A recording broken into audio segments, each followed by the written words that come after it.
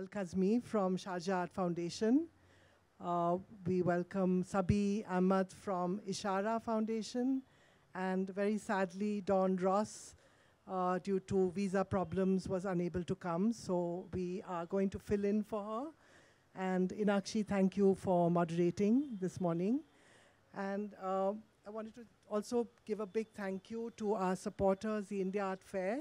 It's a very natural, um, you know, collaboration. And uh, thank you for, you know, the support that you've not given just this year, but over the years. And uh, we really, we, you know, I think the galleries and India Art Fair are, are, you know, natural partners. So thank you for your support always. And um, yeah, I think we can go ahead and um, you can begin. Thank you. Also, Good afternoon, everyone. Thank you, Shireen and the Mumbai Gallery Weekend for bringing us all together on this very beautiful morning. Um, I um, um, at this really lovely venue with all this beautiful foliage surrounding us. Um, I'm also very excited to welcome our special guests, um, very accomplished um, um, uh, guests from the UAE uh, who are joining us today, Nawar Al-Qasimi, Vice President from the Sharjah Arts Foundation, and Sabih Ahmed, uh, Curator and Associate Director of uh, the Ishara Arts Foundation. Really sorry that uh, Dawn Ross, uh, Head of Collections at the Jameel Arts Center, couldn't join us today uh, because of um, a challenge uh, with her visa. We really do need to re-engineer our visa processes across the world. Dawn has very kindly sent a little note in um, sharing a little bit about uh, the Jameel Arts Center, which um, I'm going to request Sabih to, to, to read out uh, in the context of this uh, conversation. Um, it's really thrilling to see the cultural renaissance that's exploding in the Middle East. Um, and um, I, like all of you, I'm very keen to seek uh, Nawar and Sabih's perspectives on this. And in that context, um, map the three incredible contemporary art institutions that they um, lead in the region. But before I begin, I want to say a little bit uh, or, or, or speak a little bit about why I refer to this as a cultural renaissance. And um, um, increasingly, I'm seeing countries in the GC GCC um, um, wanting to become tourism hubs, pegged and leveraging um, art and culture. And uh, this is a, a, slight shift from the past where uh, culture was probably um, uh, acknowledged at a national level, but its full economic potential wasn't. Um, and I think this shift is interesting because it's uh, this, this, this surge in the creative economy has uh, generated huge employment opportunities, is, um, um, has created, is creating new economic activities, new forms of um, community engagement, and I'd love to uh, talk to both of you about this uh, in the course of the conversation. Um, as, as a little context, uh, Saudi Arabia over the last few years has invested over $100 billion um, in, uh, in the creative economy, uh, setting up the Diriyah Gates project, which encompasses um, um, uh, an art district, art academies, a, a, a media art institute, museums, um, last year, the Islamic Arts uh, Biennale was organized by the Diriyah Biennale Foundation. Uh, I had the pleasure of spending some time with Sumayya Vally, who was one of the curators of the Islamic Arts Biennale in Lunuganga last year.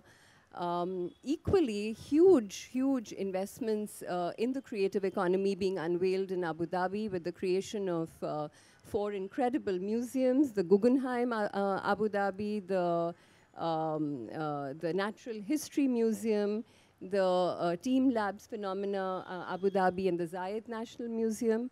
Um, I'm given to understand that Dubai was ranked regionally uh, number one and uh, globally number two in attracting foreign direct investment in the creative economy. In uh, 2021, over $2 billion was invested in Dubai uh, supporting over 450 projects in the cultural um, uh, sector, and that really has fueled the growth of creative properties like the Jameel Art Center, uh, Alserkal Avenue, the Dubai uh, Design District, Art Dubai, um, the Ishara Arts Foundation, and, and, and many others. So if, I'm, I'm hoping, uh, and of course, um, the trailblazers and visionaries in this regard have been the, the Sharjah Foundation, which has now completed 30 years since its uh, inception and its 15th iteration, which concluded last year, um, and has grown significantly now to encompass over uh, um, 150 um, uh, artists representing over 70 uh, countries uh, across, um, across the global south and um, um, um, has also organized an incredible array of programs uh, through the Biennale, uh, you know, the Biennale, which includes performances, music, art, installations, across a very, very ambitious set of over 18 locations, uh, encompassing over five towns and districts of the Emirate of Sharjah.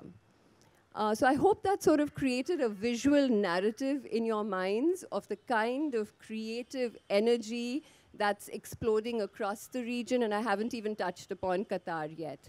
But with that, let me dive into my first question for both of you, uh, and which is really if you could, with that context, give us a little bit of an overview of the ethos of the institutions that, uh, that both of you lead and uh, how they've grown since then, the directions they've taken since then. I know they are very diverse and uh, unique, uh, but um, would be curious to know how they complement each other and the ecosystems that they uh, serve. Um, given that Sharjah has been a trailblazer, um, I think it's in all fairness, I'd like Nawar to start, please. And then um, um Sabih, if you'd like to then just share a little bit of what Dawn had to say about the Jameel Art Center and then give us your perspectives. Yeah? Thank you so much, uh. Hi, everybody. Good afternoon. Um, thank you so much for the introduction. I think you've kind of summed, um, not summed, but I think you've given a good introduction to what um, what Sharjah Art Foundation is and, and what we do.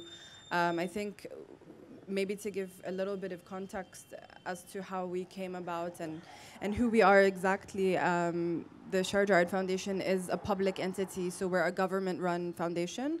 And we have a very interesting model in which we emerged outside of a biennial. So even before we were a foundation, there was a biennial in Sharjah in the 90s. And it was actually artist initiated. Um, it came out of um, a group of artists putting together a show who were then publicly fundraising. And then the government noticed that they were public fundraising and said, you know, we don't want you to ask for money for culture. We will give it to you. We will support you. And then they initiated the Fine Arts Society. With it came the first biennial. And we only came about um, in 2009 after a series of biennials had, happen- had taken place. And in the early days, the biennials were very um, local and sometimes regional and focused mostly on kind of, um, I would say, like the Arab world mostly, and took a very um, traditional approach of country representation. And then when our president and director, Hoor Al Qasimi, came back from her um, studies at the, at the Royal College of Arts, she had seen Okwui's documenta and it had changed her life. And, and, and she said, you know, we need this in Sharjah. Yes. So I came back to Sharjah and said, listen, we need to change the format of the biennial. She came back from art school, um, worked with the team, and said it cannot be country representation. Nobody's from one place anymore. It has to be thematic. It has to be about, it has to be curated. Um, and it was a very mold, uh, old model at the time, and so everybody quit. And they said, do it yourself. The team um, that was kind of of a, you know, an older generation of kind of older men in the government stepped down. Um, and she called on artists, friends, and curators, and they opened a fantastic biennial at the time. Um, and it put the biennial on the map because nothing like it, no, nobody had seen anything like it. Um, and this was um, in 2006. Um, yes. So we've grown from then, um, and today, because because of the because the biennial came and went every two years, the biennial was also commissioning. Um, there was conferences, there were grants that were coming out of it.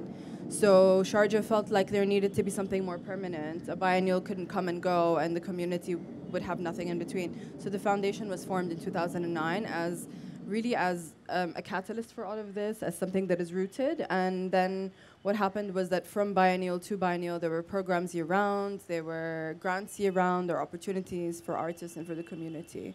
So we went from um, a project that happened once every two years to really a full blown foundation.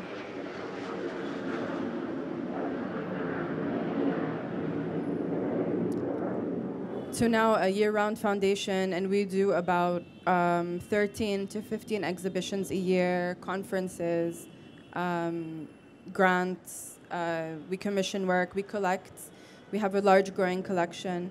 Um, education programs, and we work with film, music, and performance as well. So we've come a long way, I think. And how large is your team? Uh, We're almost at 300 now. Wow. Yes, and we work across 15 um, office spaces. So we're quite spread out. In the presentation, you might, in one of the images, you'll see a map that shows where we're located. So we're really across. Um, I think people don't always um, imagine how vast Sharjah is, but we're on both coasts. So we really work across uh, the entire Emirates and cover a lot of geographic location.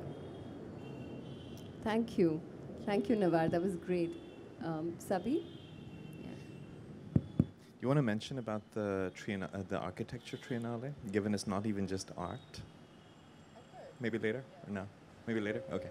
Um, well, first of all, very big thank you to everyone at MGW who's invited us and who's organized this. It's fantastic to be among so many friends and also in a conversation like this. It's almost like coming here to give an update, a field report, given I've been in conversation with most of you for so long.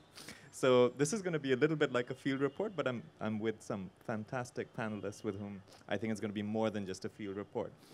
Um, as Inakshi said, um, I'm going to read a note from Dawn, who is going to be here speaking on behalf of Jameel Arts Center. And I'll, I'll read as I go. Um, so Dawn says, no, I think it's fine. Good morning, everyone. I was looking forward to the talk and the opportunity to engage in discussions with my esteemed colleagues Nawar and Sabih uh, and moderator Inakshi. Even though I can't be there in person, I would like to give a brief overview of Art Jameel, who we are, and what we do. Art Jameel supports artists and creative communities. Founded and supported by the Jameel Family Philanthropies, the independent organization works globally with its international base in the UAE. Art Jameel's programs are grounded in a dynamic understanding of the arts as fundamental to life and accessible to all. Art Jameel comprises two institutions, Jameel Art Center in Dubai, UAE, and Hayy Jameel in Jeddah, Saudi Arabia. Hayy, by the way, means neighborhood. So Hayy Jameel is basically drawing on this idea that we want to be a neighborhood center, which draws in a lot of the local community, youth as well. Art Jameel embraces a collaborative model, partnering with institutions and encourages collaborations locally and internationally. Prioritizing arts and education, which sit as two distinct entities across both institutions, the programming encompasses a diverse range. This includes thoughtfully curated exhibitions centering around artists and pertinent themes in the region, festivals, and symposiums dedicated to promoting the art and current issues, and youth programming that nurtures upcoming UAE creative talent. The organization houses a dedicated collection and library, forming the backbone of the organization. The collection is committed to organize original research and thinking with key initiatives such as radical collecting and exploring new approaches to collection care and management relevant to institutional art collections situated in South and West Asia. The two institutions present subtle distinctions. Jameel Art Center is located in Dubai's Jaddaf waterfront, is a contemporary art institution showcasing contemporary art and engages uh, communities through exhibitions, learning, programs, and research. Hayy Jameel, located in Jeddah, is a creative hub and it's intent on bringing together a wide range of creative disciplines in one destination, including a contemporary art gallery, educational uh, education programs, residency and studio spaces, independent cinema, and performance space. Both institutions collaborate with and support artists from South and West Asia and beyond, encouraging broad audience engagement with the artworks, programs, and ideas generated. By developing these ecosystems, we contribute to building a sustainable, future-oriented art scene and creative communities both in the UAE, KSA, and across our global network. Before I conclude, I would like to thank everyone who's been involved in organizing Mumbai Gallery Weekend and this talk. I hope the discussions today are insightful and inspiring. So that was Dawn's note, and I should add, given she's not here, that um, Art Jameel's been directed by Antonia Carver, who is the director of Art Dubai for many years. And she's been a phenomenal figure who brought together really uh, a lot of the arts from around the Arab region. So with her vision, I think there's been a, a lot of influx of artists, thinkers who um, have been trying to build a discourse around the UAE.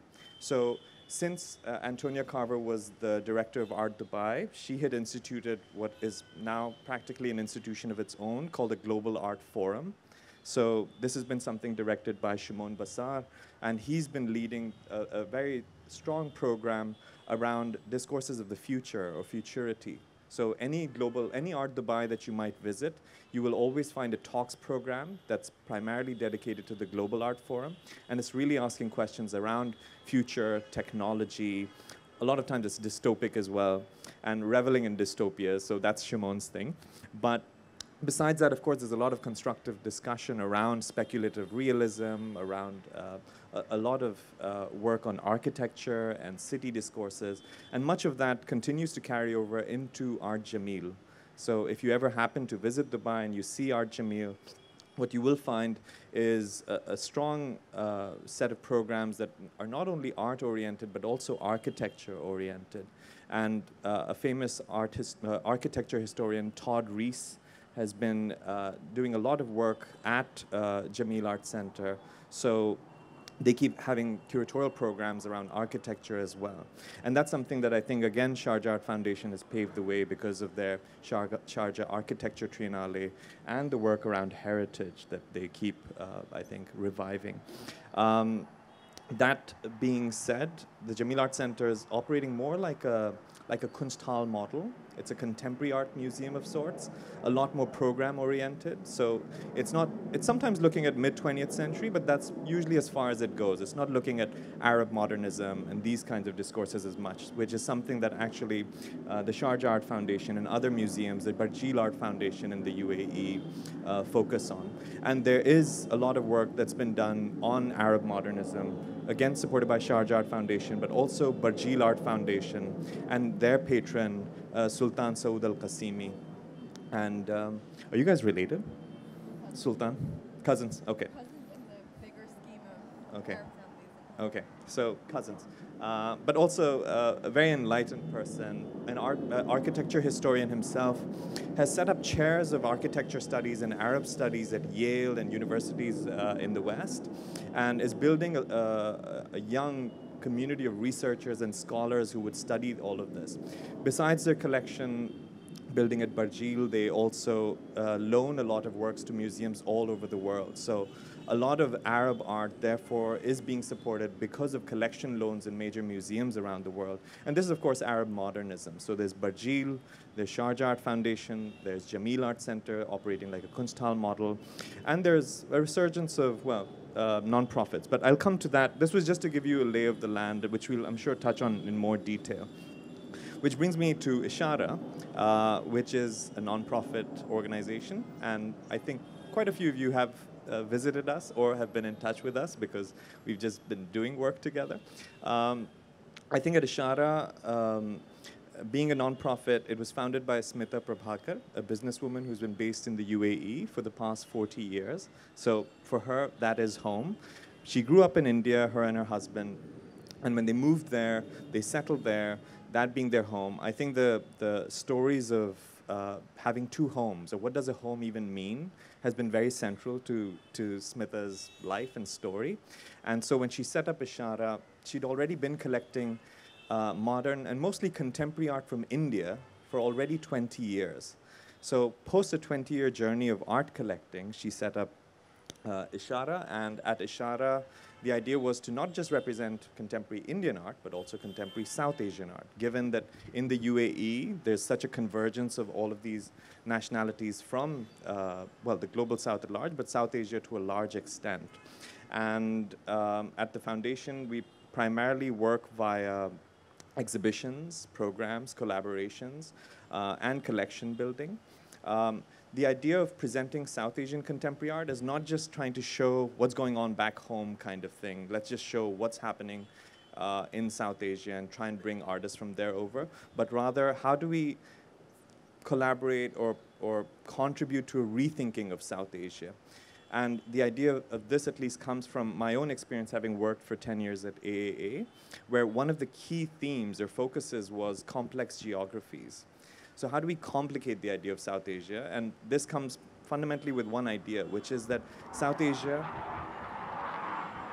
is booming uh, with jets.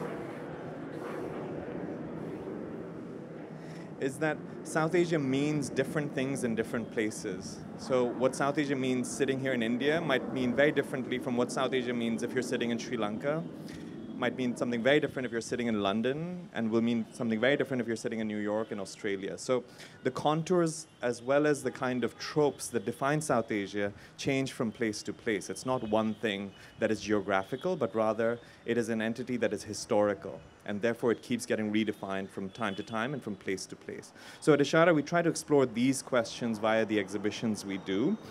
And, um, and I think I'll speak more about um, the foundation and its vision later. But we're a very small team, and I'll just make the last point, which is that given how small we are, so we're aware of our scale. Uh, we might appear very big, uh, but we're actually very tiny. And so, given an awareness of our size compared so how to. How tiny is tiny? Um, so, we're a group of six staff members, okay. which includes myself. Right. Uh, we have a little bit of the support from Smitha's company. And um, so our HR and our accounting and all kind of get handled by them. But primarily all the Ishara Foundation work happens by a team of five to six people. And in that, we, we do what we can. And um, why I'm bringing up the question of scale is because that's the awareness we bring in how much and what we want to contribute. So our contributions, therefore, are very specific, very precise to the discourses of regional representation, both in West Asia as well as what it's doing to South Asia as well. Yeah. Thank you for that. I mean, I think um, all three very, very distinct models and very interesting models. Um, um, you know, moving on a little bit and add, just sort of building on this discussion, the Middle East uh, does enjoy a vantage point in terms of location. It is a de facto melting pot for all things South Asia, equally uh, West Asia, parts of Southeast Asia, and um, increasingly North Africa as well. Um, I'm curious as to how each of you uh, perceive this um, emergence of regional ecosystems and regional affinities, and um, how this geographic confluence has uh, shaped the growth of contemporary institutions like yours uh, in the region. Um, maybe Nawar, would you like to? Well, I think it's important um, to note also kind of like where we are geographically. Sharjah, for example, is a port city. So historically, we've been a place of we've been a place where people have come and come and go from, and people have settled. And our programming, and, and when we look at our programming and what we want to do, we always look at the communities around us, and that's the ethos, uh, that ethos is what, what we want to reflect in our programs. We need to speak to everybody. We need to speak to matters that relate to everybody and look at the larger picture of not just people in Sharjah or the UAE, but the region around us. Our collection, for example, um, many years ago, we made a decision that our collection is south, south, east, east, and that's all we're going to collect. and or primarily the mo- most of what we're going to collect. So we're looking at our region and beyond. We're looking inwards, not outwards, if that makes sense. Um, and I think it's because of you know also looking at um, after working in an institution for so many years and looking at the impact that our institutions like us have on our region, it makes sense thinking about the future that we need to be collecting from here. And it's, you know, what are we going to leave? What are what are we going to leave behind for the communities of Sharjah or for our region in the future? So um, our programming, our exhibitions, um, kind of our visions curatorially, and uh, our collection strategy really looks at where we are um, and who's around us. And we've seen also um, similar kind of thought in, in, in other, like in institutions around us as well. So for example, in Sharjah, there's the Africa Institute, which is a sister organization, but it's, we work very closely with them and they're um, an academic institution focused on African and post-African studies, and the only one in the region. So they're doing um, postgraduate studies um, and degrees. They also do language courses and conferences, and they also um, show exhibitions together. So there is this influence of other institutions like uh, in Sharjah that are also looking at kind of um, the global south, Africa, and beyond. Um, and in in having these institutions, I'm, I mean, I'm speaking about Sharjah specifically, but also between us, Ishara, other people in the UAE, I think that it makes the conversation so much more dynamic. And when people come to the UAE, people who are coming really from regions that are not ours, I think they don't know what to expect. And then they realize, oh, wait, but you're showing African art and you're showing South Asian art and you're showing uh, Southeast Asian art, and it's not just you know it's it's so much more than I think what people think to, to expect, but it really is a reflection of where we are geographically on the map um, at the very essence. No, thank you for that, uh, Nawar and um, Sabih. Uh, same question, you know, sort of addressed to you, but also an adjacent question on um, if you can add to that and, and also give us some perspectives on South Asian art and how you've seen it evolve uh, the artists, the contemporary explorations that you're seeing. Um, um, so a bit of both. Yeah. Um, so the context of the Middle East first. Um, if any of you've been or haven't been, you probably know someone either from family or friends who, who have lived there or worked there. So at least in most cases, UAE feels almost like an extension of Kerala. Uh, anyone landing in either Abu Dhabi airport or Dubai airport, we'll just see so many people from India, if not from various parts of Pakistan and Bangladesh, and everyone at the airport from, and then outside the airport, the moment you take a taxi, basically people are speaking either to you in Malayalam or in Urdu or in Hindi or in Bangla. And so it almost feels like the strange extension in, in ways. And it's also reversed. It's almost like Gurgaon's ultimate dream when you reach Dubai or something. This is what Gurgaon would have imagined and loved to be, or Noida would have loved to be, right? So, sorry? In Gurgaon, that's right. Well, yeah. So, I mean, that's, but Gurgaon would have loved to have a sea and a beach. So, it, there is all of this kind of, um, how do I say, like aspirational geography that we have to look at. It's not just a geography of it what it is on the basis of its own history, but on the histories of migration. So when I was uh, at least moving to the UAE to join Ishara in 2020, I was already aware of a few things because I'd, number one, grown up in Saudi, but also had visited Dubai on a number of occasions. Number one, it's a place that is thriving with universities. It has so many universities. And so for me, that was quite exciting because I'd already been connected to various university programs in India. And when you have a city or a country which has lots of universities, you know you have a dedicated group of people who are curious and engaged with the world for at least the next three years in a batch. And then they're going to change, and then there's going to be another batch. So that was one kind of contextual marker that was interesting for me. The other one, of course, is the awareness that it is a place of very dense supply chains. So it's supply chains of goods, but supply chains of people and bodies and money and oil, but also dreams and nightmares. So it's, it's a place that is not as a lot of people, when they go to Dubai, they usually use this metaphor of the bubble. But actually, that's not an accurate uh, description. It is not a, not a kind of bubble in and of itself. It, in fact, it's a very dense system of tunnels, all kinds of tunnels passing through, literally and metaphorically. And so, uh, in the UAE, you see this, these kind of tunnel systems at work of people moving through and things moving through, institutions moving through. Suddenly you're seeing a resurgence of all kinds of new museums being built. Are they going to be there forever? We don't know. So maybe the institutions are just passing through. It might just feel like that, right? So this actually produces a condition what uh, Deepak Unnikrishnan and, and even scholars before him have written about. Deepak has written this fantastic book, and I can't recommend it enough, called Temporary People. It's full of just extraordinary stories of what does life mean in a state of temporariness, but temporariness not as a state of exception, but as a permanent condition. And that's, I think, what one needs to understand about the world right now, which is that my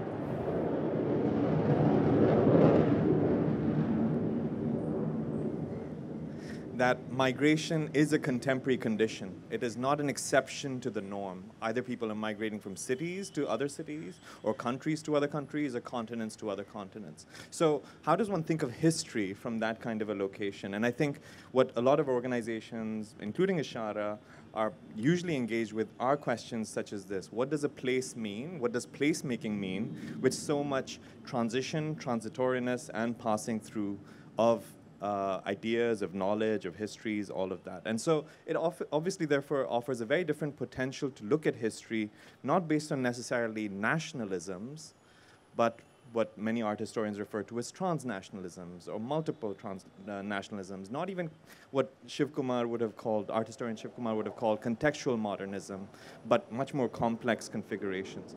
And then the last point I'd make in terms of the context of the Middle East is just so you have an idea of how it's like organized between the different emirates, is that Abu Dhabi being the capital has become also in these past years the museum capital. So the Louvre is situated there. The Guggenheim Abu Dhabi that was going to get built is going to be there.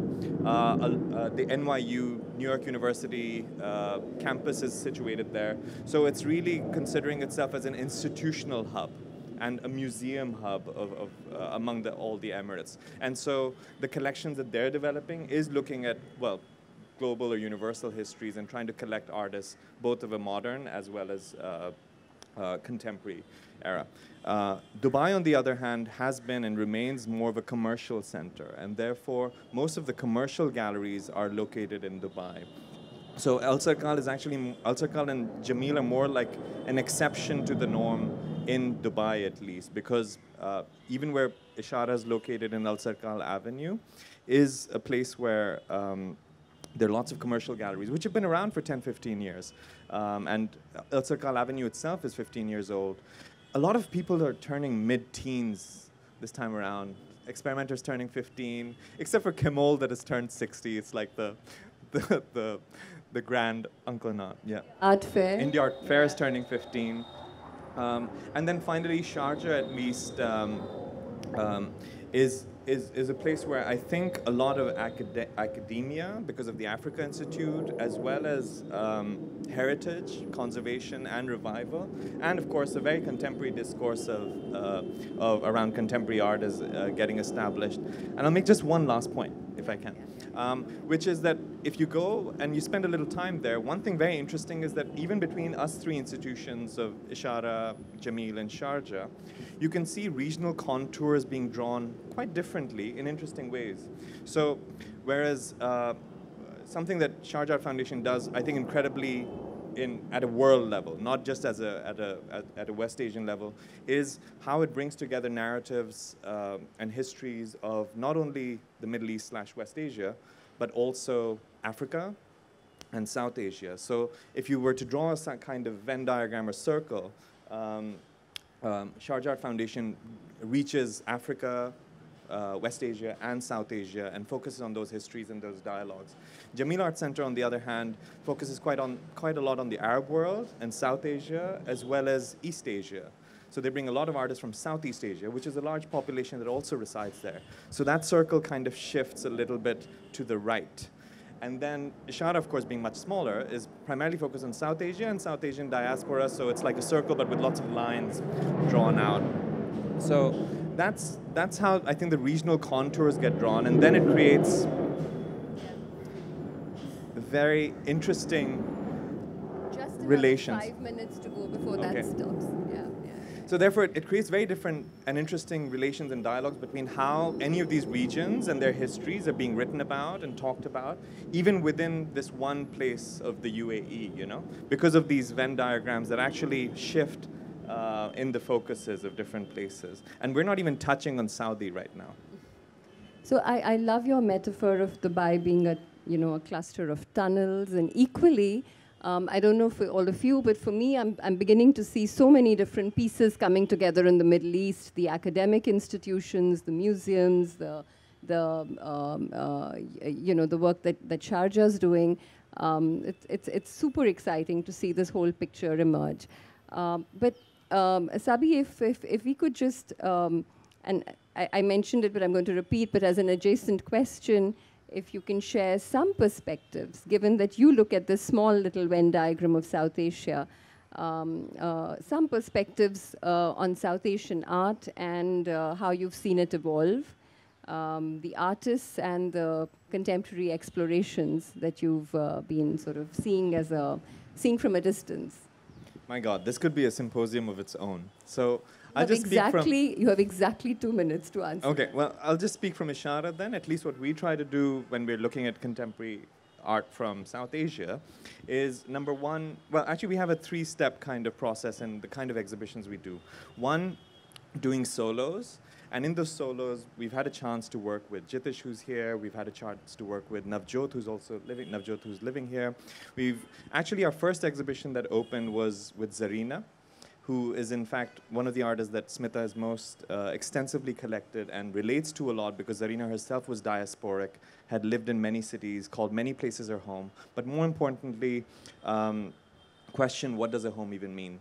So um, we focus on solos. The Zarina exhibition was in fact uh, with uh, a, a duo exhibition that was curated by Nada Raza with Shilpa Gupta, who's also here. And so it looked at different generations. So a lot of the way we present uh, solos even or or duo shows are looking at relations, relations of geographies, relations of generations, and I think that's something that at least at Ishara we're quite aware aware of. So when we invited Sohrab Hura to curate an exhibition, he was also looking at not what he thinks are the most relevant photographers or artists, but rather what are his field of relationships and practice? What, what is the field of practice that he inhabits? And so I think there's a lot of awareness of field making uh, as opposed to an art world, which is some abstract kind of uh, notion, the fields that people inhabit. So I think that's something that we focus on, and we find more and more happening in relation to collectivization. Because, and that's, that's my actual answer to your question, which is that um, one is seeing a shift towards more and more collective energies. And it's not the first time in history that's happening. Khoj and so many other initiatives, Sarai, Camp, have all, all of these places have been uh, places of confluence. Like, not necessarily, back in the day, Khoj used to be called an alternative art space or something. I think one's not thinking of alternatives in the same way anymore, but rather field makings that, that exist and coexist with others to, to kind of either have counter narratives or, or complicate narratives, those kind of things. So I feel that's really something that's exciting me a lot about South Asian contemporary art this collectivization, field making. And, and lastly, I think uh, art has always exceeded institutions. Um, there's a strange narrative as if everyone is aspiring to be institutionalized. It's actually the other way around. I mean, uh, institutions have always tried to e- capture practices. So practices exceed institutions, have always exceeded institutions. The desire for being institutionalized, I still don't understand. Um, but um, I think one is seeing that uh, awareness already, that in institution or no institution, there are energies that are, that are coming together and doing things a lot right now.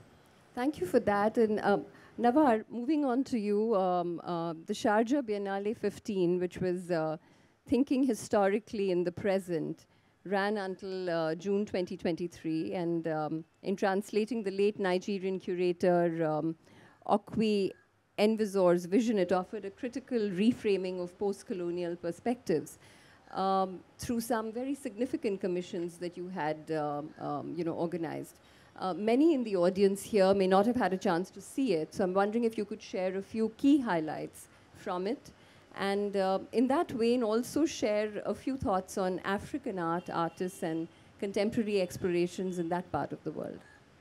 So um, the the last um, biennial was kind of it was the largest edition we've had yet. Uh, we celebrated 30 years, and it was very much full circle for us because it was what initially led um, Hoor, our president and director, to start the foundation, and it was you know we were always thinking wouldn't be amazing if we invited Okwui to curate, and when she did invite him, um, unfortunately um, he had been quite ill at the time and during the process at one point said to her, I'm not going to be able to do it. You need to continue. And these are my notes, and this is what I want to do. And he had actually laid the framework for the beginning of um, the project. And it had been 30 commissions to commemorate 30 years of Sharjah Biennial. Um, but then as we worked, um, and then we, we put together, obviously, a group of, of collaborators and people that were close to Okwui as an advisory committee. And as we were working, we realized, well, it is changing now. It is a different curator. But we took the 30 commissions into a starting point. It ended up being 70 commissions um, and 300 works uh, in total, 150 artists and collectives. Um, but the works were monumental. They were the biggest commissions I think we've ever done. Uh, some of the most, I think, well well received um, works were. Uh, uprooted by Doris Salcedo, which a lot of people may have seen. Um, uh, Hajra Waheed's project as well. Some images you, you might see on the presentation. Uh, Yinka Shonibare had some major new commissions. And for this edition, I think it was the, the biggest, um, not just the biggest in scale, but it was the largest in terms of the numbers of partnerships that we had secured and co-commissioners we'd secured. And for the longest time, um, for us working in, you know, where we are in the Middle East, working with international institutions, there was always this idea of, well, why should we support you? You have government funding. Why should we, you know? But it, but getting um, artists' work supported for us is always not just about getting the funding, but also giving the artists, um, giving the projects a chance to be seen in different places around the world. Um, the projects traveled. Some of the projects that we commissioned had premiered in other places. Um, and, and then has come to Sharjah and gone somewhere else. So it really is about mobilizing these projects more than it is about just getting the show done. Um, and obviously, with the last edition of the biennial, there was a large um, number of works by African artists or artists from diaspora. And it was really, uh, I think, for, for many of us and for a lot of people um, who visited, um, a way to think, not, not just to think about, but to contextualize all of, the, all of the thought processes that we were thinking about when it came to post-colonialism, restitution, repatriation. There was a lot of conversations that were being had in academia that for a lot of people, um, and really in the UAE, aside from the Africa Institute, there weren't a lot of those conversations happening. So for a lot of people, having the project in person helped um, think about and contextualize these larger conversations that were happening in the academic realm, and I'm talking about people who come from a non-arts audience uh, or a non-academic audience. Um, and then, of course, with um, with the presence of the Africa Institute, the fellows, uh, and all of the research, um, we have an opportunity to work with more artists from the African diaspora, and we do approximately one to two exhibitions a year with them, um, with artists from Africa. So next year, uh, this year, we're showing Henok Melkamzer, who's an Ethiopian painter. Um, we've commissioned works. We work with some of the curators and faculty at the institute. So there's a lot of, so we have these different conversations with um, the people around us, and um, there's been, I think, from the last two years, there's been a big focus on on African art. I think in Sharjah. Um, okay, if we had to move on a little bit from here, um, one of the things we focus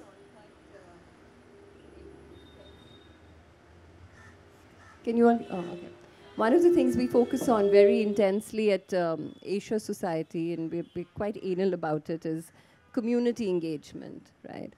um, I'd love to get a deeper understanding of um, who your communities are uh, in the context of your physical locations and your overarching missions and um, how do you drive this engagement and what are the changes that you're seeing in this regard in the in the in the UAE Um, for us, I mean, community engagement is first and foremost the people around us, and um, you know, we work in in our our, our headquarters are in um, the old heart of Sharjah by the old souk, so it's not your art audience really. Um, and uh, we've done amazing projects. I mean, we've done something amazing with. We've done a number of amazing projects with CAMP, in in um, in one of the heritage houses and also in the souk. And there was a project that really actually worked with the sailors who are across the street from us. And there was a commission, the film From Gulf to Gulf to Gulf, which is brilliant and one of uh, the most beautiful projects I think we've we've done. And we've worked on that project, and then we've screened it many years later in the kind of in the public sphere and um, in different exhibitions, and seeing people. You know that is our audience. People, our audience is not just the art audience, obviously, and people who come for the exhibition, but also people who walk through, people who work across the street in the port, the shopkeepers in the souk. When they come to us and say, "When's the biennial? Can you do something in my shop?" That's when you know you're engaging with the community around you. So we try as much as we can, not to just kind of. I mean, of course, you know, we try to have exhibitions that speak to people in terms of the content. Um, and then, you know, we try to use different languages in our advertising and in our brochures. But also beyond that, um, we try to create spaces for people to come together. and, and are you finding a lot of local engagement now over the years yes, Yeah? yes, more Yeah, than yeah. yes, I think more than ever. And primarily, aside from aside from the exhibitions and the content of the shows, having public spaces means that people come with their families, people come with their kids, people have a space to hang out, and then they naturally enter, you know, your spaces and engage. Um, and because we've because we now have spaces across the Emirate of Sharjah and something that we do that is not very typical of, of maybe um, contemporary art institutions is that we repurpose and reuse a lot of buildings. So we play on nostalgia a little bit. Um, people, buildings from the 70s that people grew up remembering become art spaces, cafes. Um, when we work in different towns uh, and, and, and set up, whether it's studios or community spaces or a cafe or a shop, we also work with the town planning department to make sure that the area is green, that there's a public playground next door. So we work across um, different um, really key players in the in the in the government or in in the municipality to make sure that there is something for everybody. And then of course having um, exhibitions be free of charge. Almost everything we do is free and open to the public. Really brings in people. People don't expect it, um, as opposed to many other places where everything is paid. So um, having that, and then having spaces like you know our community garden or public art projects um, that bring in really people from all walks of life. Really Yeah. helps us grow um, what and, our and, and so it is. must be I mean, slowly and steadily so transformational to be able to you know sort of see this on a regular cadence and be a part of it uh, what about you Sabih I think the, the question of community for us, uh, given our scale, we think of it like concentric circles. And I think the, the innermost circle is artists themselves. But this is not just artists living in the UAE, but artists all over. Artists, I mean, I think uh, we're part of and constantly engaged with a community of artists living in India, Pakistan, Lahore, Sri Lanka, UK, and also artists living in uh, West, various parts of West Asia who are constantly passing through. So starting with that, like tiny circle in the center, then it keeps expanding into academic communities, student communities. We do a lot with students from various universities and schools at Ishara. And then, of course, uh, one can't but not acknowledge a, a vast tourism community. The number of people constantly passing through, looking for what's interesting in this part of the world, whether they're coming on vacations or coming for work or coming to meet relatives. So we, we end up engaging a lot with those kinds of uh, people that are passing through and of course the, the, the wider community that happens to come through to Alserkal Avenue. So, um, so then the questions about community building, and I think that's just continuing conversations and just making people feel that number one, art is not some elitist luxury commodity space, but rather a space for lots of rich conversations. So that's really how we look at community building. So it, it's a small team, but everyone has their own spiel on every exhibition we do. If each, and everyone gives their own tours of exhibitions. So everyone will have their own narratives. If you happen to meet my colleagues um, who are going to give you a tour, you'll get a different spiel of the show. So I think conversation becomes the, the main tool for holding together a space with lots of people who want to come back and then hear something further and talk something else. And I, and I saw that in action when I attended a moment in time. Was it a moment in time? It was beautifully curated, and I love the way you had voice notes for everything, and I love the way you juxtaposed the works as well. Um, uh, you were obviously uh, very fond of geometry when you were growing up, because I love your Venn diagrams and your concentric circles. But uh, you know, one of the aspects that most organizations in the arts struggle with, uh, especially in this part of the world, is um, uh, sustained financial flexibility. Um, and I know that that's not so much of an issue here in the sense that uh, um, that the role of the sponsor or chief patron in your case does allow you to, to be a little more ambitious without necessarily thinking about this uh, on, an, on an everyday basis. Uh, but from my perspective, it's, it's really critical to have this in place if you really want to build institutions to scale and to stand the test of time. Um, so I'm just curious as to um, whether you have been exploring ways to diversify uh, funding sources through memberships, through public-private partnerships, uh, with a view to build, you know, these legacy institutions. I mean, for us, it's um, we're we're publicly funded, and then we have a you know obviously patrons and supporters, corporate sponsors, and then international um, don- uh, international supporters that come in to support projects. It changes every year. I think funding, the question of funding is always tricky because.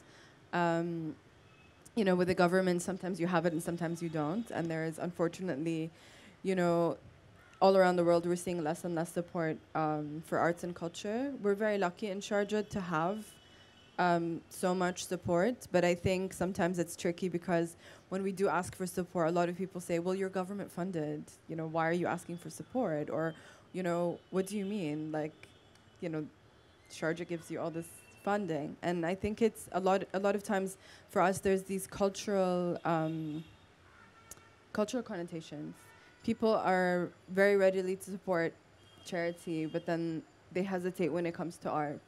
And we've tried to tackle that by changing the approach from support art to support your local community organization where your kids are going to come and play and this is where they grow up and this is where they have access to things and it's really been about changing the mindset um, and then you know long-term planning obviously is um, tricky with obviously so much instability in the region and it's something that we're always thinking about you know how long are we going to have this funding? How long are we going to be able to do what we're doing? Um, but we have i mean because we're government funded where our um, decree allows us to invest in specific things. So we're looking at for example you know do we set up a parking lot to get money out of it? Do we invest in a, in a building? Do we rent something out? Um, and we do obviously you know we've had everything from weddings to photo shoots to private parties at the foundation. Um, but then for long-term um, long-term planning, we are always thinking about, you know, how do we, what are the long-term investments that we can make in order to have some kind of sustainable long-term um, income that is not, you know, our annual fundraising and right. annual donorships. Right. And it's a, you know, I think it's a challenge for, for everybody, but it's, um, our model allows us to think about um, things that are more like investment based. And I mean, given that you right now have this this this support, it's a it's a good time to think a little bit about it uh, for the future when when some of these might become a little more challenging. Uh, Sabih. So, um, with Ishara being a single patron uh, art space, thank you. Um, I think this, like quite similar to what Nawar said, well, you've got a patron, why do you need funding? Is a question that anyone would ask, even for a small space like Ishara being funded by someone. So what we do end up, therefore, uh, relying on is, of course, we have a source source of the funding, but we therefore seek out collaborations, partnerships.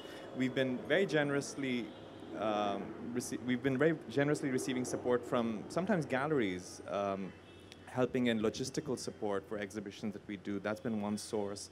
Um, the curious thing about the UAE is that there are no tax waivers if anyone's starting something like a charitable trust or charitable organization. So there's no incentive for someone to start something educational, something philanthropic.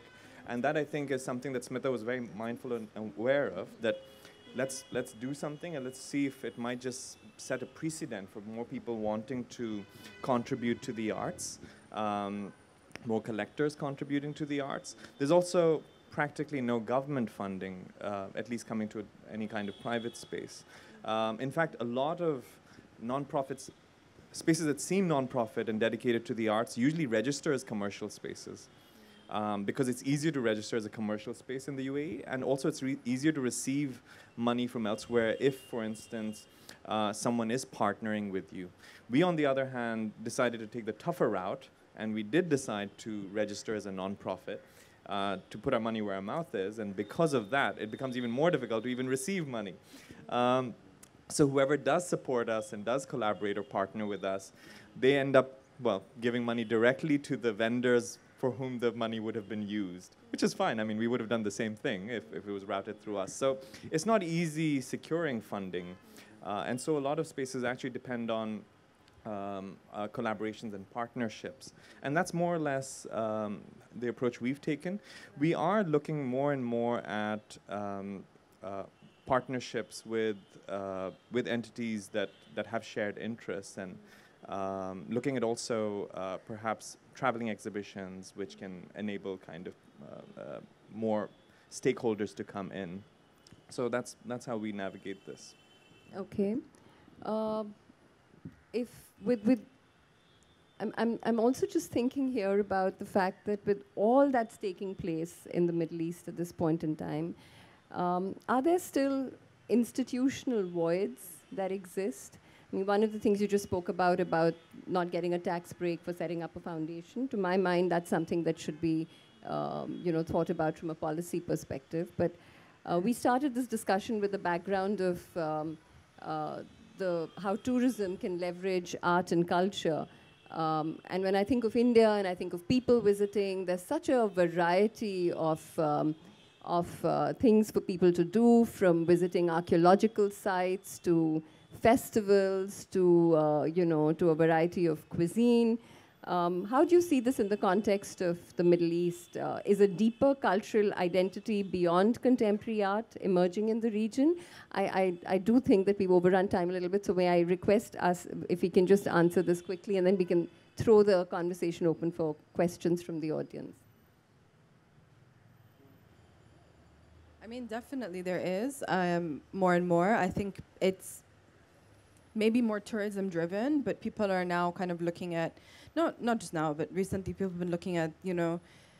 Um, in Sharjah specifically, for example, you know, it's the hidden gem. So you go to the desert, you go to archaeological sites, you can also see art, but there's all these things that are, you know, they've always been there, but people haven't really maybe known about them. So sometimes we um, use that to our advantage. So we use um, we put exhibitions up in, in archaeological sites or in, not necessarily, but like in historic sites. We link um, our projects with archaeology curators, go to all of these different spaces, and then it becomes part of a bigger conversation of, you know, you're coming to Sharjah, you're going to see a project, but it's in the desert, and it's in this archaeological site, and then, you know, you're going to spend two more days and probably go and see that. So there is kind of, you know, there is a lot um, there is a lot more going on. Um, but I think also going back to institutional voids and something I want to touch upon, which I think is, um, and kind of what Sabih said earlier about, um,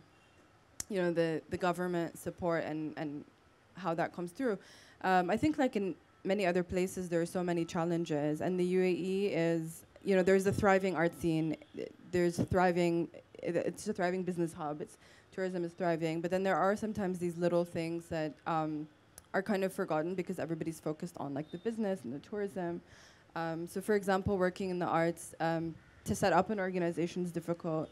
To set up studios or licenses is difficult. A lot of times people have to um, rent out a private space and then or open a business license to have a studio. There is no kind of artist license or ability to open your own studio. So you end up having to go to the commercial route, put a lot of money into it. So there are all of these little things that like we as institutions can see and are trying to tackle by opening studio spaces, by creating workspaces for artists, etc. Um, but I think we're still there's still a lot to do in terms of like the infrastructure and the legislation. Yeah, but we're working like on it. Would you like to add to that? I would. Uh, I, would add to what Nawar is saying. I think one thing that really stands out when you go to the UAE is that um, um, there's very little infrastructure for artists, and it's not because um, there are no properties or spaces. It's just properties are so expensive. So therefore, a lot of less artists and thinkers and curators are attracted to move to this place, even though there's a lot of accessibility in terms of distance and cheap tickets and things, because your studio is going to be so expensive. So a lot of people have moved to so many cities in the world because, well, they can get a cheaper studio. Visas are not as difficult. And when you have a place which has many institutions and museums and foundations and galleries, but very few artists, um, that really creates a strange kind of distortion because finally the scene is made by artists to a huge, huge extent, and the kind of conversations and, and surge of ideas that they bring to a city. So I think that's one kind of uh, thing. And the other, I think, is not so much um, a void, but rather a problem, which is the tourism itself. Because the way tourism seems to have thrived in this place is based on bringing together a lot of consultants who then create all kinds of cliches and those cliches then become the norm and everyone just wants to identify the place with those cliches. Like cliche number one this place is a desert. It's not a desert. I mean if you go to any part of west asia it's full of mountains there are all kinds of amazing mangroves and all kinds of um, natural phenomena and ecosystems but everything's just constantly portrayed as a desert and the burj khalifa something like that right so that's cliche number one cliche number two um, there's no art here, so we need to bring artists from elsewhere. Um, there are lots of there are lot there's, there's lots of art. There's lots of young artists who are trying to sustain and, and do some really interesting things. But then you keep importing artists, and when you import artists, you dictate terms of having them make works that look like Western art. But actually, I mean, having spent these three, four years there, I've realized it's not even Western art because when you go to the West, you see a lot more interesting stuff. It's actually more British American consultancy art. So it's the same artists actually doing some amazing works all around the world, but when, when they're commissioned to do something there, it looks like consultancy aesthetic. So that's really what you end up seeing there, consultancy aesthetic, which is which plays to the same cliche of tourism, a void. So actually, there's a lot of void clicheism going on all the time, which actually there's not. So I don't think it's the void that needs to be filled, but the mythological void that's being created that needs to be kind of just put aside. And so I think entering any of these places, passing through, the first question anyone would do is usually ask the most cliched questions. And I mean, if you go to some other place in the world, you don't ask those Because- cliched because that's questions. the, but because that's the narrative that's, that's the narrative, being and everyone's reproducing yeah. it. Exactly. Are there any consultants in the audience here? Oh, no. okay, so I'd like to throw this open uh, for questions from the audience. Um, uh, Jamal, would you like to start? Thank you very much. It was great. You made me want to come back there properly. Uh, I think that was the idea. One goes to uh, Dubai Mall, and uh, there's really a mall of uh, a lot of great institutions there. And really, that was uh, the reason why um, it's also very inspirational to hear this today, because I think many of us in the audience, you know, are hankering for this here, and we have very, very little of it. So, really, thank you for the perspective. It was wonderful, and actually, thank you for leading that. Thank you, Shireen. I'm going to, I don't know if we have enough time, but like Abhay to do the vote of thanks, please.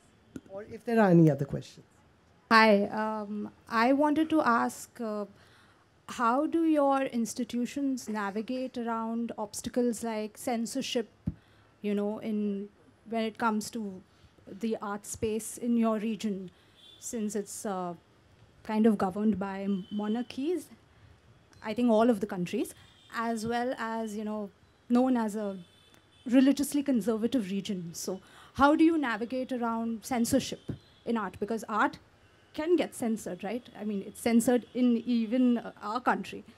So, I just want to know that. Thank you for the question. We were wondering when we would get the censorship question, actually, and it's an important one. And there's censorship everywhere and different kinds of censorship. Um, but I think the first, I think the first kind of the important thing is to be aware, and not to say that, you know, not to pretend that it doesn't exist, and you know, to say that oh, we're we're gonna do all this stuff, and we're very aware of um, the do's and don'ts and the lines. Um, the green lines, the yellow lines, and the red lines. We try, we cross the yellow ones sometimes, but we know where the red ones lie. Um, but I think the UAE itself is very different. I wouldn't call it necessarily a religious space, but I think it is, um, there are spaces in the UAE that are um, maybe more uh, conservative, which is, you know, and then spaces that are not. Um, there's I don't want to reference memes, but I'm sure you've seen all the memes of a woman in a niqab or a burqa and a woman in a bikini sitting next to each other on the beach. That is the reality of the UAE. There's you can you know there's all kinds of people, but there isn't this um, with censorship. It's always it always depends on what the bigger issues are. So, for example, I would say. 10 or 20 years ago, you couldn't touch religion, um, you couldn't touch um, queer issues. Now it's politics. Um, you know, in 10 years it's going to be something else. The lines are always changing and, and they're quite blurred. Uh, but I think the most important thing is for us to be aware of what we're doing and to do it, to navigate them, um, navigate the issues kind of with intention and to be smart about it because we do want, you know, we never want to censor artists. We want artists to speak and we all want the same thing. We work we have more, I think, artistic freedom in what we do, um, specifically in Sharjah, because we are supported by the government. And when I say supported, I mean the our our patron and and the ruler of Sharjah is a very educated man, an author and a playwright, and he gets it. So he encourages to he encourages us to push boundaries, but he says like basically do them with kind of you know with intention and to be smart about it. Um, and we don't want to offend because if we push if we push a boundary that is borderline offensive, and as a public institution and a and an organization that focuses on community, our commitment is also to our people. So we have to think about: Is this going to offend my community? Is this going to be thought-provoking? How do I find the balance? So it's about what we place, where we place it, and how we how we do it, um, and then also being honest and open to artists and saying, "What is it that you're trying to say?" this is going to get in trouble and get the whole thing shut down, but let's try and do it in a different way. And, you know, let's put this here and put this here and having that conversation. And it's been, um, I think it's been, I've seen that we're able to do so much more once we have those open conversations and all agree that we're in a context where, you know, if it's very different, I think a lot of, a lot of times, you know, I've been having this conversation. I have this conversation. Um, I've been having this conversation a lot recently, where people think that, you know, people in the West think that you have to shout about issues, and in our part of the world, if we shout about an issue, we draw more attention to it, and then everybody gets in trouble. So rather than saying that we're all going to speak about this issue or that issue and take it to the streets, we do it quietly, we do it very smartly, um, and we focus on, for example, we do it through our art, through music, through writing, through publishing, and then you get people to come together and talk about things and work on you know mobilization and action and what we're going to do rather than do rather than shout about it which gets everybody and shut down and, and and censorship is not unique to the UAE oh, for sure, now anymore. For sure, I mean, we, we have enough and more happening here. Just one last question. May I request to make it very quick, and then uh, I'm going to request Abhay to do the closing. Yeah. yeah. Hello. Can you hear me? Uh, well, I, I don't have a question, but I have an answer. So um, the answer is I, I thought the UAE and Dubai was one big mall, and I was terrified of going there. And, and then I rubbished my prejudgment, and I said, No, let me go, let me discover. And that's what I did in 2021. And I want to gift all of you uh, what I did in 2021. Sabih, we met in Dubai, and for you, and for you. So uh, for me, it was an absolute discovery. And I, I so agree with all of you in, in saying that we have to go beyond the art community. We have to reach a larger uh, community of people and, and engage with them, you know, lure them into the arts. And that's my uh, mission since 25 years. I've been doing this. And that's my mission is, is uh, to uh, find unity in diversity and Thank you. disseminate the idea. Thank you you. so much. Thank you. Thank you for that. Thank you. Jitish? Well, you know, uh, it all seems so nice when she handed the books that this seems like an odd remark. Um, uh, thank you for this wonderful sketch that you sort of sketched out of a region, but also of a time frame. And I had these kind of free associative thoughts of other constellations that emerged or just pre emerged uh, to these moments. I mean, I'm thinking of the Triangle Artists Network uh, between uh, Johannesburg, London, and, Cape, and New York, that then became a quadrilateral, became pentagon, hexagon, and then became like this artist constellation. But also this uh, sequence of hyphenations that happened between, let's say, Asia Pacific, Asia Pacific Triennial, West Asia, South Asia, um, South South, tropical lines. Um, and uh, there was a third thought that really the museum, the Guggenheim Bilbao effect that became spoken of in the early 2000s, has all a kind of slightly staggered predecessors to these moments when you see the f- total resurgence really happen in the UAE and the UK and the, sorry in the in the Middle East. But these were kind of free associative thoughts that came as you guys were speaking of the wider network. Yeah, thanks. Thank you, Jitish. Any any comments, Sabih? Okay, yeah. Yeah. So just continuing with the free associations while both of you were talking, um, Sabih, you know, step down out of the airport and you're greeted with a host of migrant South Asian languages. Um, Nawar saying how the community and the locals are quite important, and locals there are migrant and migrant labor. Um, so just riffing off what you guys said, um, a red line that we couldn't cross in the UAE as a collective, as a community, as a community of artists was speaking about the labor. And uh, speaking of consultancy, we approached the Guggenheim Abu Dhabi long before it was built, across a table, negotiating with the directors and the curators.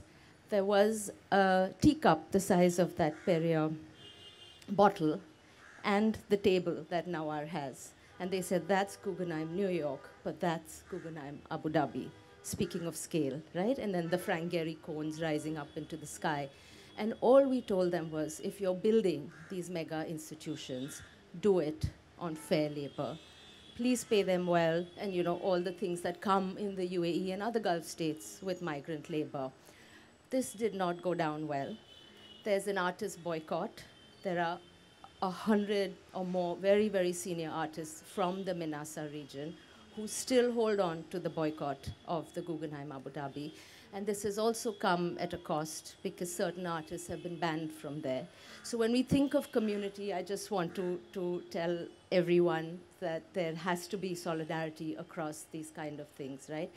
And uh, Walid Raad is banned, a member of CAMP. Ashok is still banned in the UAE. But we also take solace in the other friendly institutions who continue to work with us, continue to push us, and even though people don't travel, the art travels. Comment? Yeah.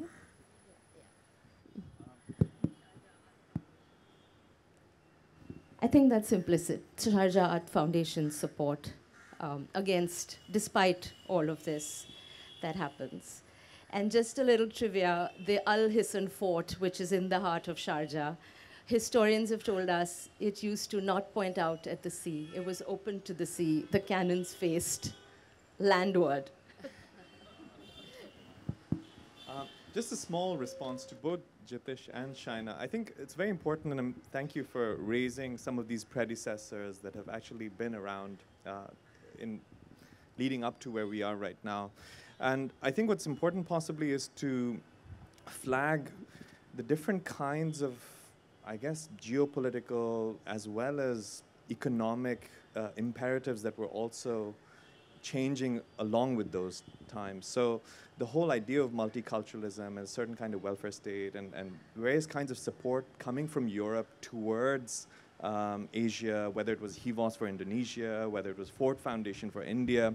So there was a moment when these kind of quadrilaterals and geometries were being drawn with certain kind of funding systems, and those funding bodies changing their own priorities, impacting these kinds of geometries as well. So I think it would be really worth studying how to map all of these out in time along with larger policies that have existed.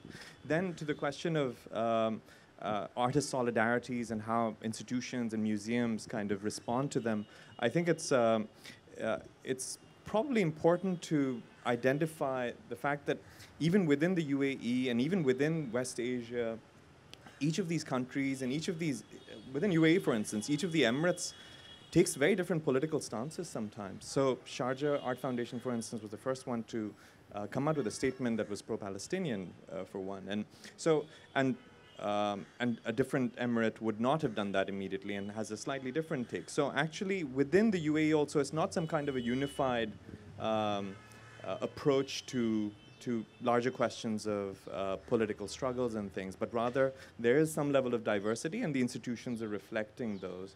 And lastly, I think um, what we're seeing at the moment with uh, the various geopolitical shifts that are going on, which also reflect economically because oil is at the heart of so many of them. Russia's oil gets sanctioned from Europe.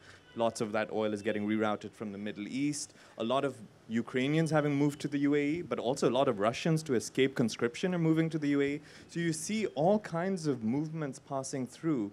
And, you know, on maybe a closing note to what Shaina was saying, I came across some uh, Russian friends who were, number one, escaping conscription, but also facing uh, or feeling the, the dread of uh, a, a, kind of regime that is also cracking down on different uh, sexual orientations within the country, um, and them finding solace moving to the UAE because they're not going to be troubled there. So, actually, the geopolitics of our time right now seems to be placing West Asia yet again at the heart of a lot of movement and trouble going on.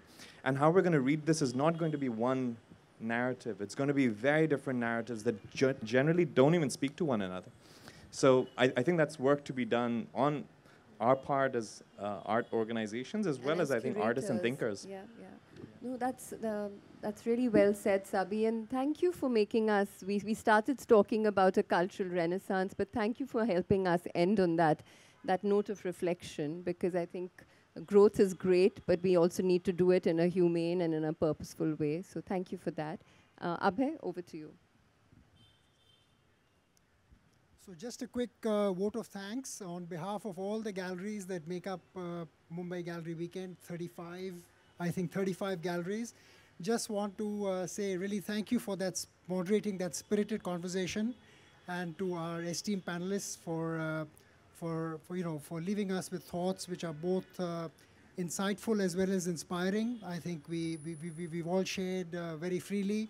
Uh, you've, you've given us a sense of the lay of the land from where you come from, the museums, and I think we all aspire to, in our own ways, what we are doing in our own small ways as galleries. The Mumbai Gallery Weekend also started in 2012, and we bind, you know, we, we, we bind together and we try and do things which are probably outside the mandate of what typical commercial galleries would do. So I think it's a, it's a great uh, community and a great uh, sharing of uh, knowledge and arts and and uh, thank you so much again. And thank you for the museum for uh, hosting this and to, uh, to the India Art Fair team and to all of you who were there to make this happen. And please join us after this for lunch right across here at the gardens. So thank you again. Thank you.